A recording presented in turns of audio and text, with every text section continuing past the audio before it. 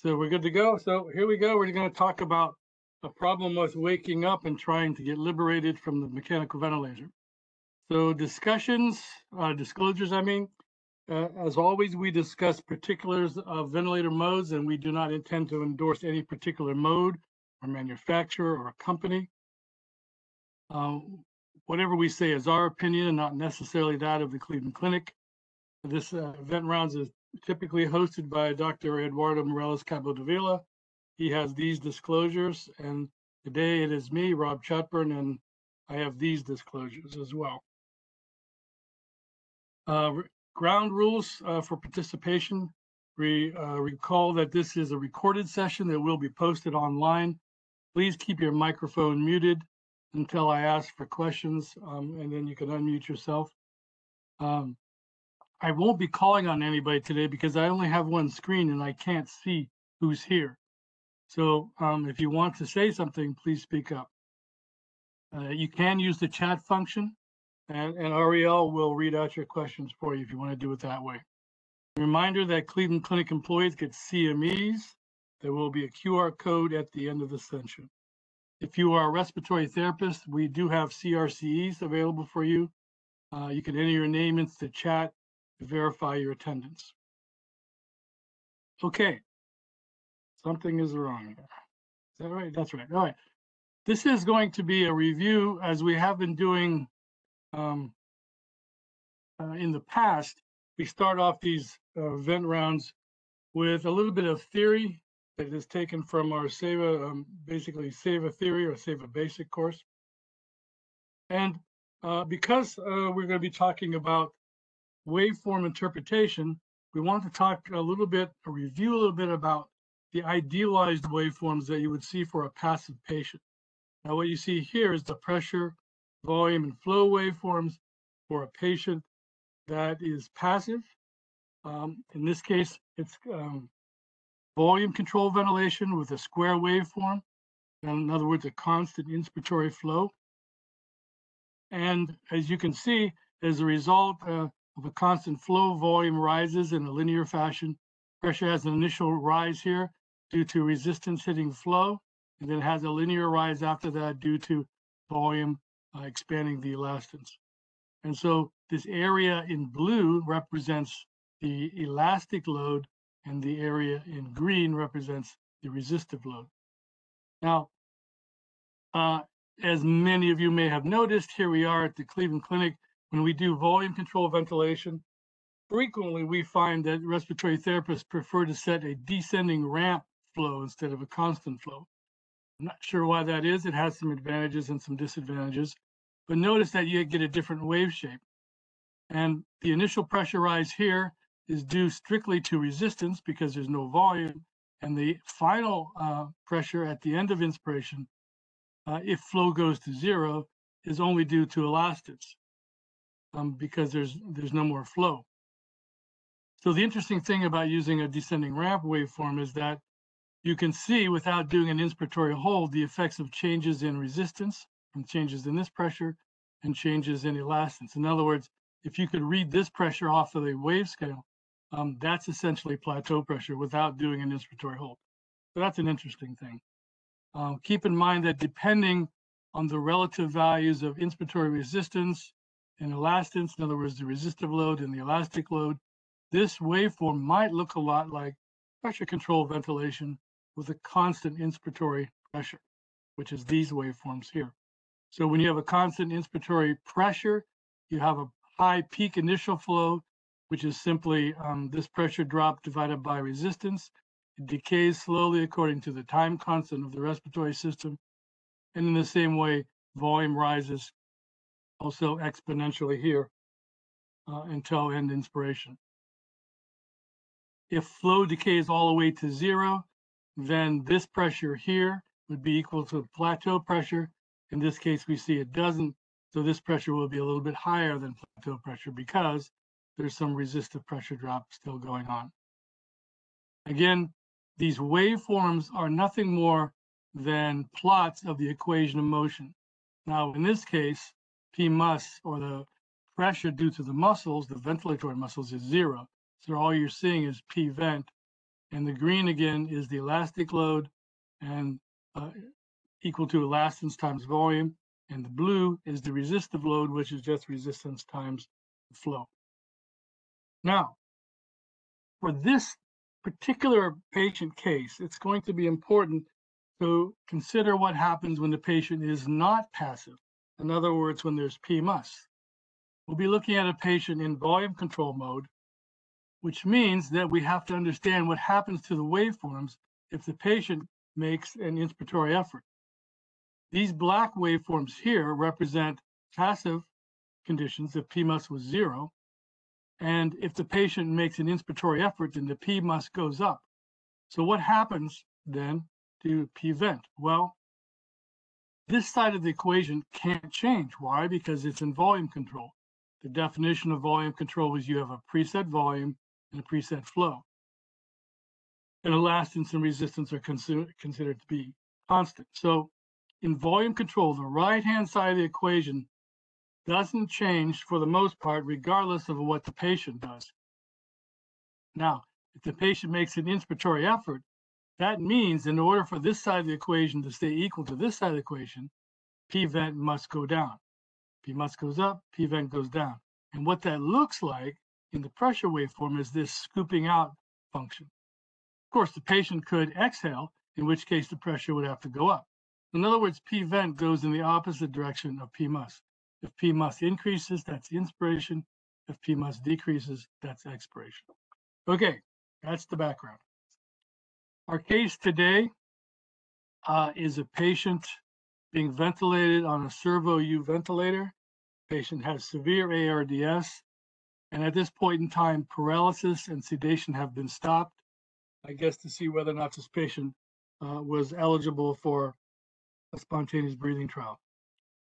So, our procedure here is to first of all figure out what is the tag.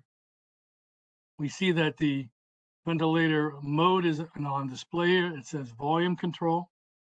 But keep in mind there's two kinds of volume control on the servo used, depending on how you set the waveforms. And so I will give you a few seconds to think about that. Ari, I can't see the chat, so you're going to have to call out if people are giving any answers.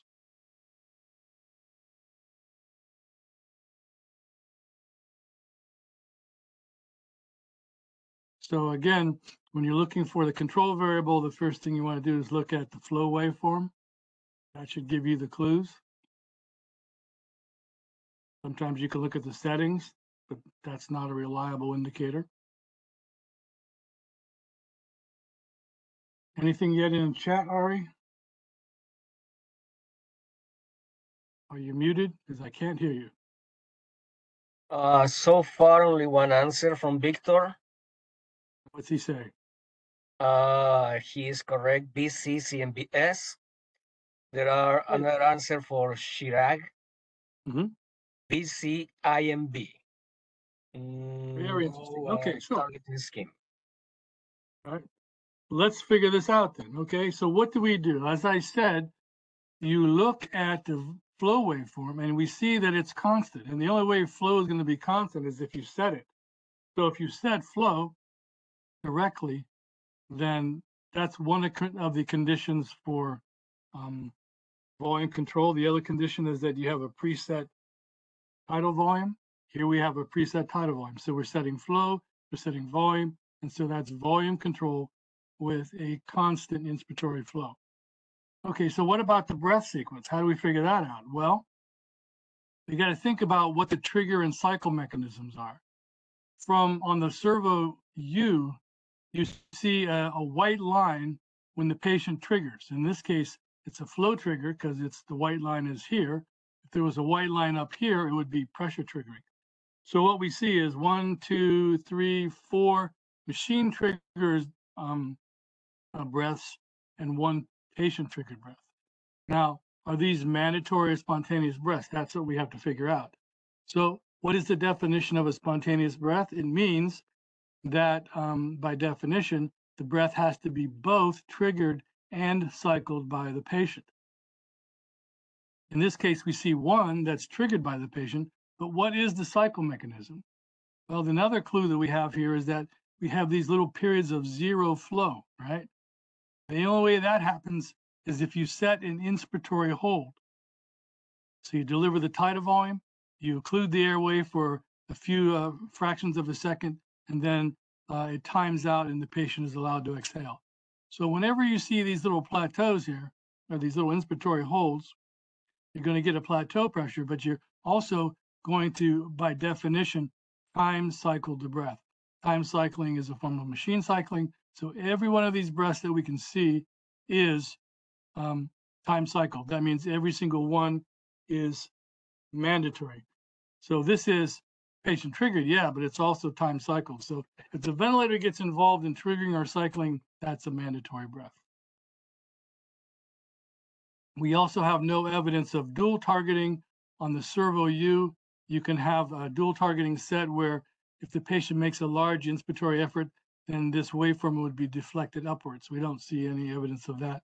So our tag then is volume control, continuous mandatory ventilation with set point targeting. Set point simply means that the operator sets everything and the machine doesn't do anything. It doesn't set any targets um, automatically. Okay, step two, what's the load here? Where do we look to see the load? Well, we want to see on inspiration and expiration. So we'll look first at inspiration and we want to know, is this an elastic load, meaning a, a low compliance? Is it a resistive load, meaning a high resistance? Or do you see evidence of PMUS, meaning uh, patient ventilatory efforts? So take a couple seconds to think that through. And right, you can um, announce them as they come up in the chat.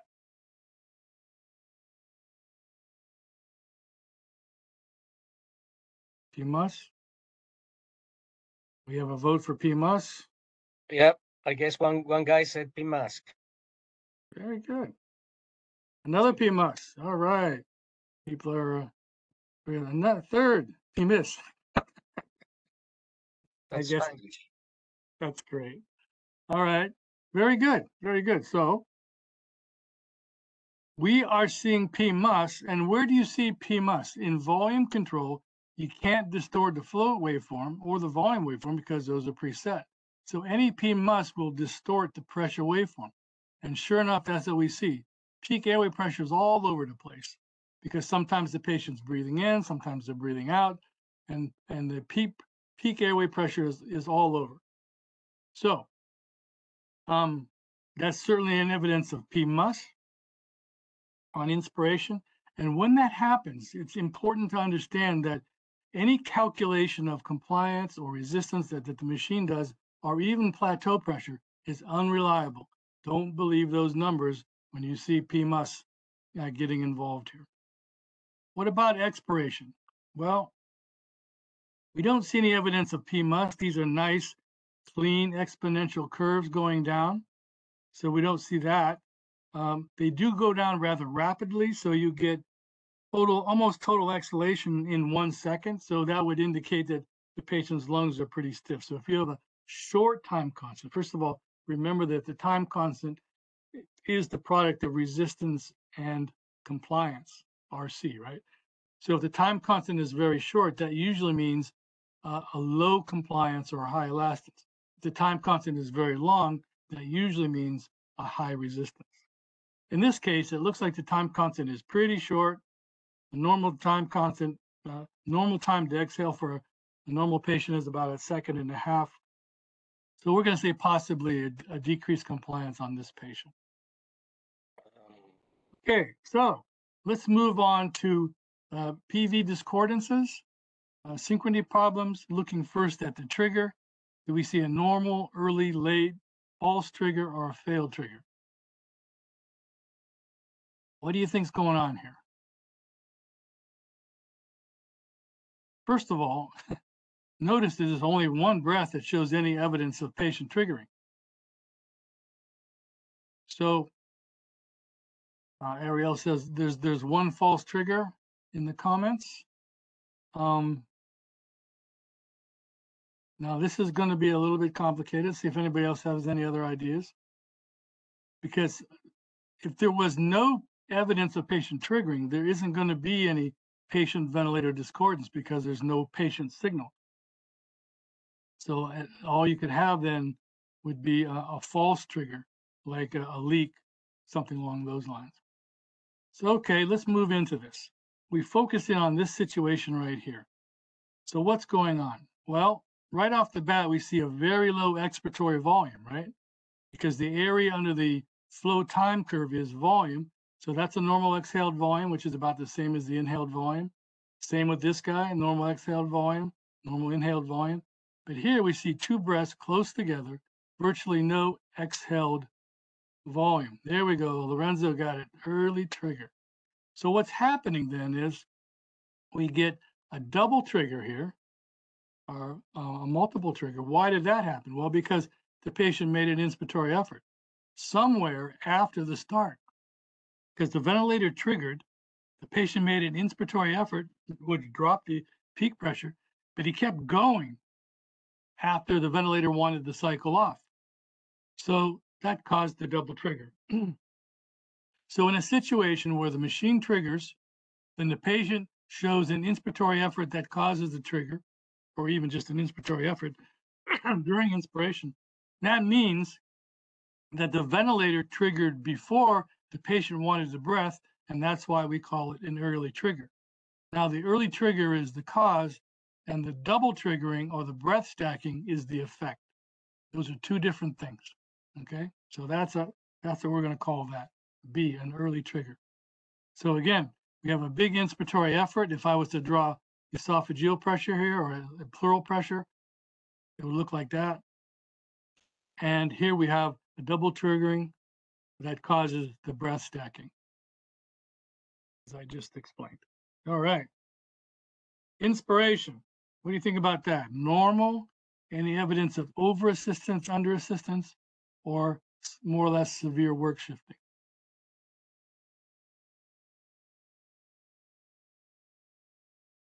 I think you guys probably figured that out when you're looking at what the load was, right? So if you determined that there was some significant P mus as part of the load, then what would you reason it would be happening during inspiration. Which of these things make sense to you? Possibly under assistance. Under assistance means that the patient um, is struggling to get more. Uh, Um, I don't know if you read, Victor said under assistance. mhm. Yeah, I saw it under assistance. Yeah, it's turning out that the the uh, chats are showing up on my screen, which is cool. I didn't think it would do that. Okay, so over assistance means that um, the patient's ventilatory drive has been diminished. Maybe they're not triggering because there's there might even be um, a, a, a high pH because of low low CO2. Uh, under assistance means that the patient has a strong inspiratory drive and is trying to get more tidal volume and more flow. Um, so that could possibly be what's going on here, or it could be work shifting. Now, I don't know if I really like these choices because it doesn't show moderate work shift, uh, work shifting. So we have said before, whenever PMUS is above zero, the patient is shifting work from the ventilator to themselves, whether it's in volume control or pressure control. So we do see some work shifting here. I don't know if you're going to call it severe or under assistance, but I just decided to say uh, uh, severe work shifting. Um, and also because we're, we're getting this double triggering here. And, and another thing about this, even though it's stacking breaths, the patient got two tidal volumes with virtually no exhalation. The ventilator shows that he's got the same tidal volume every breath. And the reason for that is that the ventilator resets every time flow goes through zero. So this volume display and this volume display are not accurate when you have multiple triggers going on. So that's another thing to keep in mind. So this patient is at risk of ventilator-induced lung injury because of overdistension, despite the fact that the ventilator says he's got only you know, less than 8 mLs per kilogram. He can't believe that. Okay, what about cycling? What are you going to think about cycling? This is a little bit more complicated.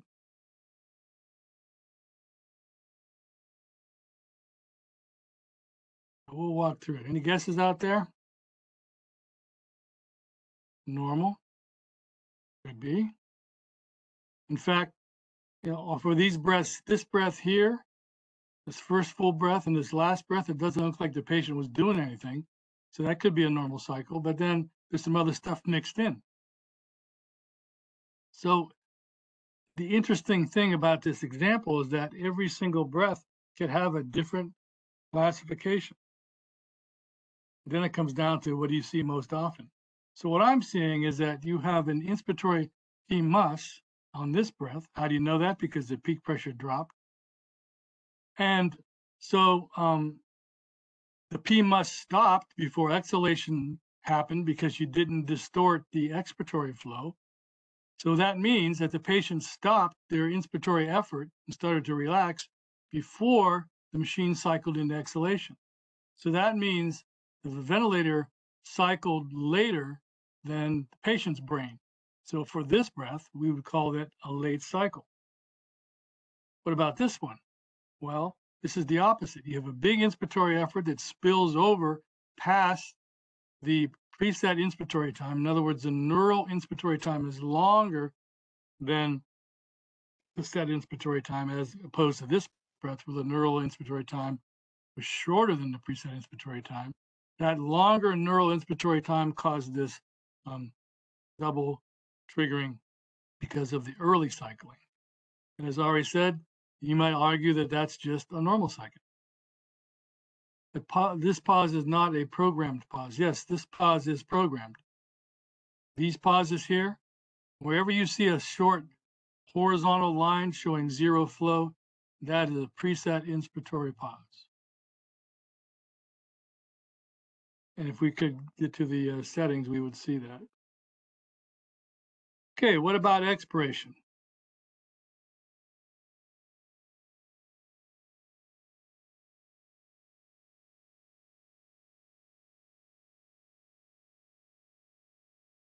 Passive, yep. We definitely see passive exhalation. How do we know? Well, we look at the flow waveform. It's a nice exponential decay. Yep, someone else observes that's a, a passive. Now this guy is screwed up. He didn't get the exhale, but here there's a little distortion. But basically, this is a nice exponential curve going down uh, passively. What does it mean when flow abruptly goes through zero like that? Yeah. Even though the patient isn't triggering, the ventilator is triggering here and here and here, probably this guy too. And so we see that the ventilator is causing gas trapping here, right? Flow doesn't go to zero because the expiratory time is too short. Possibly it's too short because this plateau pressure, I mean, this inspiratory hold is here. If we were to take that away, the patient might be able to exhale all the way. I'm Not sure why people put an inspiratory hold. Sometimes it causes, it does cause higher mean airway pressure, could improve oxygenation, could improve inflation if you hold the lungs open. Uh, typically, you want to do that if if you're desperate for improving oxygenation and decreasing shunt. But in this case, you might have had to pay the price by extending the inspiratory time and decreasing the expiratory time and causing gas trapping. So that's generally not a good idea to have gas trapping. So even though we would say the expiration is normal, uh, it's not good. You know, there's a way to decrease the gas trapping. Uh, and why do we want to decrease gas trapping? Because the PEEP in the lungs is higher than the PEEP on the ventilator. It might be too high. We don't know how high it is. It might also be causing higher peak inspiratory pressures. It might be causing overdistension. All kinds of bad things can happen from that situation. So now before I go on to the next slide, which actually shows a resolution to this problem, if you were at the bedside and you had made all these determinations, um, what would your recommendation be? What would you do for this patient? Uh, Ariel says remove the pause. As I mentioned, that's an option. But removing the pause would only address one issue, and that's the gas trapping. What about the issue that you recognized up here that the patient has got some work shifting going on? In fact, his inspiratory efforts are all over the place. So Lorenzo says pressure control. Okay, if we put this patient in pressure control, um, what's going to happen is that these inspiratory efforts are not going to drop the pressure. They're going to increase the flow and the tidal volume. Now, I don't really know what this patient's tidal volume is. It says here 7.8. So that means if you gave this patient pressure control, they might very well cause their tidal volume to go well above 8 mLs per kilogram. That's the problem. So you're the answer to the question is what's the goal? Are we concerned for this patient has severe ARDS, who's struggling to breathe because his anesthesia is worn off or been taken off? Is our concern for this patient comfort or is it safety? Now, if we had decided we don't care how big the tidal volume is, we want him to be comfortable, then pressure control would be a way to go. You might even put him in pressure support, right? But given this patient uh, has severe ARDS, he's not able to be weaned, and probably other things going on. Our goal should probably be safety.